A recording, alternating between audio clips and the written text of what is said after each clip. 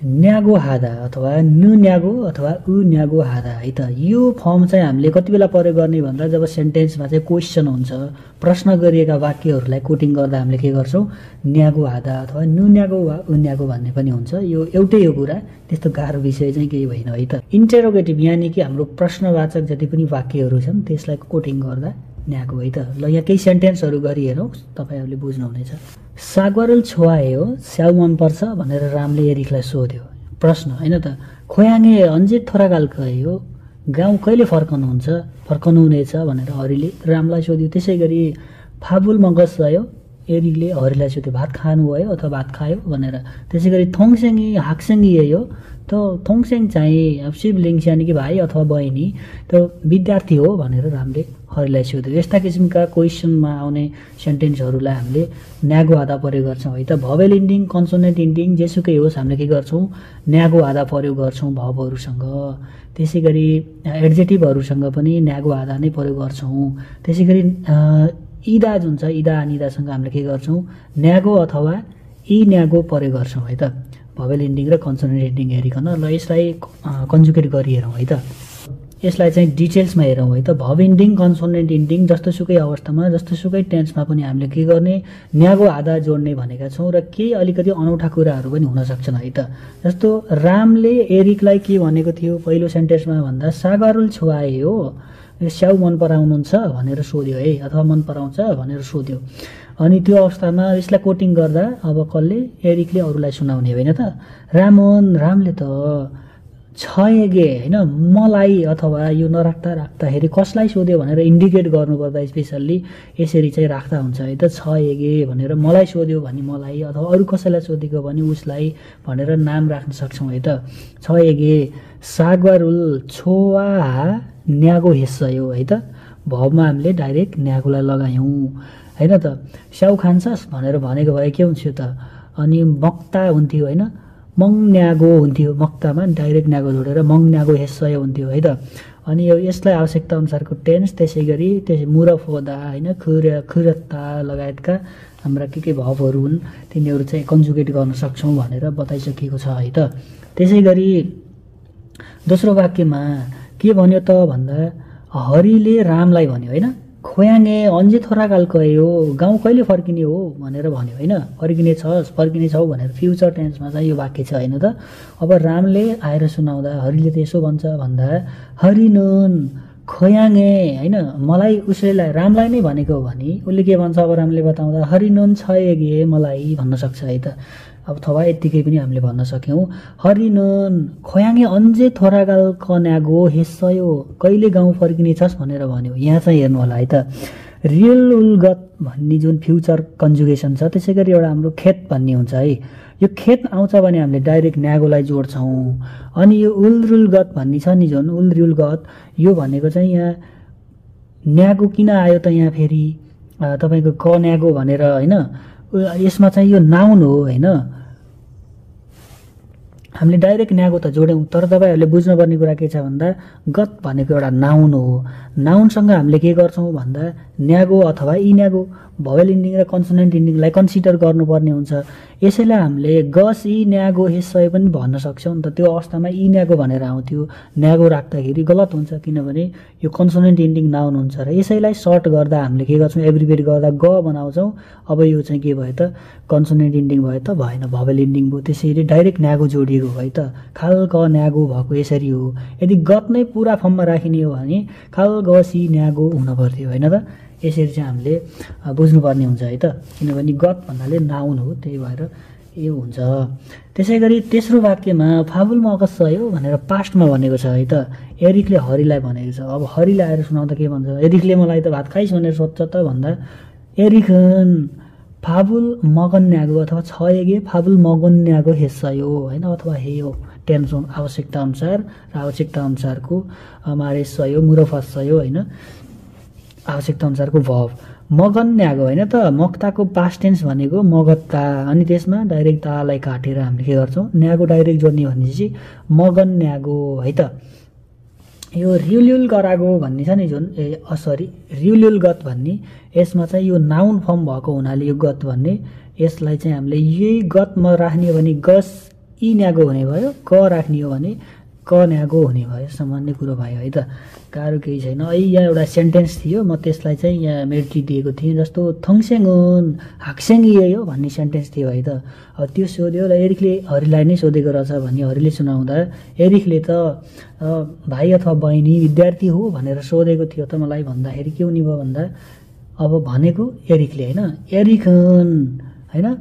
अब के भयो त भन्दा थङसेङ थङसेङी के त भन्दा हाक्सेङ होइन हाक्सेङ नाउन भएको हुनाले हाक्सेङ इ न्यागो होइन त? किनभने हाक्सेङमा फाक्सिङ झुन्डिएको हुन्छ। हाक्सेङ इ न्यागो हेसयो अथवा मुर भाषयो है त आवश्यकता अनुसारको पोलाइट फर्ममा पनि हेस निदा होइन अथवा हेस भनेर यो पोलाइटनेस लेभलमा नि इन्डिङ गर्न सक्छौँ। आवश्यकता अनुसारको टेन्समा इन्डिङ गर्न सक्छौँ भन्ने कुरा भयो है त। र यसरी चाहिँ हामीले यसलाई गऱ्यौँ है त तिनटै टेन्समा गऱ्यौँ जस्तो मलाई चाहिँ लाग्यो। ल चाहिँ डिस्क्रिप्टिभ भाव प्रयोग गरेर सेन्टेन्स चाहिँ बनाएको छ धेरै सेन्टेन्स चाहिँ मैले बनाइनँ जस्तो नेल फापायो रामले एरिकलाई भनेको सेन्टेन्स है त नेल फापायो भोलि व्यस्त छौ भनेर भन्यो। अनि त्यसै गरी यहाँ सनसेङ निवेश छुवास यो हाम्रो टिचरको चाहिँ क्लास राम्रो थियो भनेर चाहिँ यसले सोध्यो है त। रामले एरिकलाई अब यसै कुरालाई एरिकले आएर अरू व्यक्तिलाई सुनाउँदा अब यो न्यागो फर्म प्रयोग गर्छौँ होइन त? रामन नेल फाप्पु न्यागो हेसयो मतलब रामले भोलि व्यस्त छस् भनेर सोध्यो भन्ने यसको चाहिँ के हो त? अर्थ हुन्छ होइन त?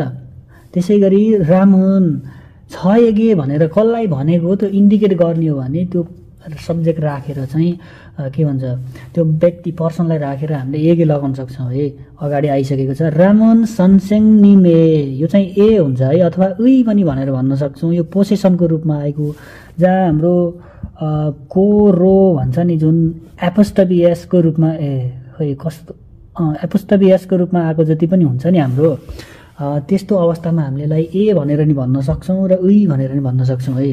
त्यो कुरा बुझिराख्नु होला। रामन सनसेङ निमे अथवा सनसेङ निमुई सुबी छोवान न्यागो हेस्सयो अथवा मुर फस्सयो अथवा कुन टेन्समा हाल्ने हो अथवा कुरेस्सयो होइन त?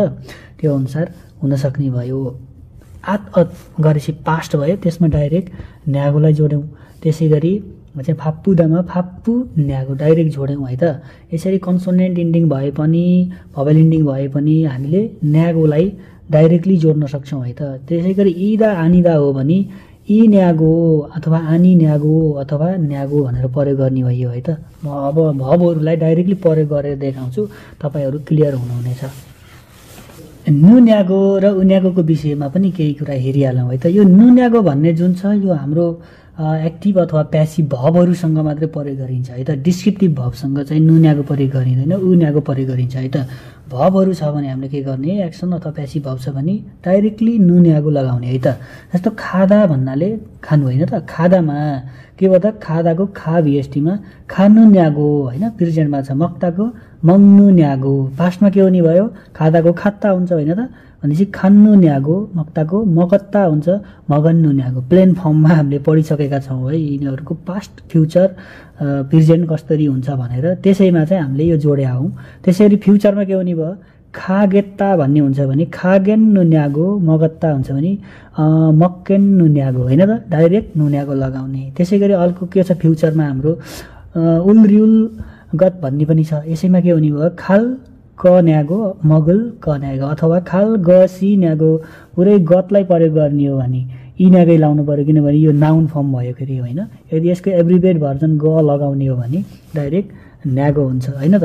खाल न्यागो मगुल ग न्यागो। खाल गसी न्यागो मगुल गसी न्यागो। यसरी चाहिँ भवहरूलाई चाहिँ हामीले प्रयोग गर्छौँ है। र यो न्यागो भनिसकेपछि के हुन्छ त? न्युन आइसक्यो भनेपछि हाम्रो के हुन्छ? रिउल चाहिँ के हुन्छ? हट्छ। जस्तो साल्दा भन्ने भाव छ भने त। साल्दा मान्दुल्दा भन्ने भाव छ भन्ने के हुने भयो त भन्दा? सानो न्यागो अथवा मान्दु नु न्यागो हुने भयो होइन त? रलाई हटाएर अनि डाइरेक्ट नु न्यागो लगाउने यस्तो चाहिँ हुन्छ है त? सामान्य कुरा भइहाल्यो। अनि पास्टमा चाहिँ के गर्नु त? पास्टमा त फेरि हट्ने भएन किनभने यसको पास्ट फर्म भनेको के हो भन्दा साल्दाको सारात्ता होइन त? सारात्ता हुन्छ नि त होइन? पास्ट भनेपछि अब यसलाई हटाएर हामीले नुन्यागो लगाउने हो। भनेपछि यहाँ चाहिँ के भयो त? सारा नुन्यागो हुने भयो। यसरी चाहिँ हुन्छ है त? डिस्क्रिप्टिभ भवलाई पनि कन्जुगेट गरिहेरौँ है त हामीहरूले। जस्तो एक्सन अथवा प्यासिभ भबमा हामीले के गर्थ्यौँ भन्दा न्यागोलाई डाइरेक्ट लगाउँथ्यौँ है। भवेल इन्डिङ कन्सोनेन्ट इन्डिङ जे भए पनि। तर डिस्क्रिप्टिभ भब छ भने हामीले के गर्छौँ? भवेल इन्डिङ छ भने न्यागो लगाउने। यदि कन्सोनेन्ट इन्डिङ छ भने हामीले के गर्ने त? ऊ न्यागो लगाउने है त। जस्तै एप्पुदा। एप्पुदामा हाम्रो चाहिँ के भयो? एप्पु भन्ने त हाम्रो भवेल इन्डिङ भयो होइन? भवेल इन्डिङ भिएसटीमा के गर्छौँ त भन्दा? न्यागो लाउँछौँ डाइरेक्ट। एप्पु न्यागो। है त एप्पु न्यागो हादा होइन त? अनि छोत्ता भन्ने राम्रो हुनु भन्ने जुन छ यसमा चाहिँ के छ? कन्सोनेन्ट इन्डिङ छ त्यसैले के हुने भयो? छो न्यागो हुने भयो होइन त? यदि भवेलमा इन छ भने उ न्यागो लगाउने कन्सोनेन्टमा छ भने न्यागो लगाउने सामान्य कुरा भइहाल्यो। ओभरअलमा हामीले नुन्यागो र उन्यागोको कुरा गर्दैछौँ है। सबैमा हामीले डाइरेक्ट भिएसटीमा न्यागो जोड्दा हुन्छ हामीले अघि पढिसक्यौँ तर न्युन्यागो र उन्यागो भनेको अलिकति ओल्ड ओल्ड भनौँ न अलिकति पुरानो किसिमको चाहिँ कन्जुगेटेड फर्म हो कोटिङ फर्म हो भन्दा नि हुन्छ तपाईँहरूले। र यसरी पनि कोटिङ हुनसक्छ तपाईँहरूले बुझाइको लागि म भन्दैछु है त। छ भने नुन्यागो अनि यदि डिस्क्रिप्टिभ भब छ भने उन्यागो अथवा न्यागो भवेल इन्डिङ र कन्सोनेन्ट इन्डिङ हेरिकन। अब यहाँनिर एउटा इन्ट्रेस्टिङ कुरा पनि छ फेरि जस्तो इदा र अनिदाको भनिहालौँ है त।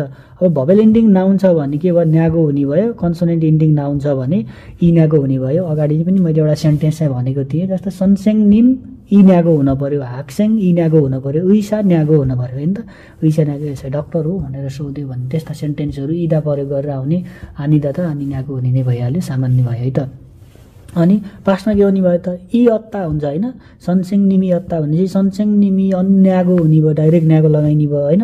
हात अत्ता आइसके पछाडि त सामान्य कुरो भइहाल्यो। छुप्ता भन्ने भवलाई हेरौँ है त।